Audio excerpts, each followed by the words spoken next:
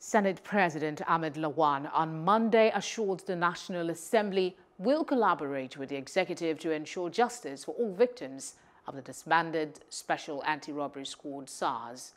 Lawan, in a statement personally signed by him in Abuja, called on security agencies to stop the rivalry, the revelry of looting and vandalism now prevalent across major cities in the country. He called for thorough investigations into all acts of vandalism and looting being perpetrated by hoodlums in the name of protests. Lawan said that the body will ensure that government fulfills the commitment it has made to well-meaning agitators for police reform and good governance. Hello, hope you enjoyed the news. Please do subscribe to our YouTube channel and don't forget to hit the notification button so you get notified about fresh news updates.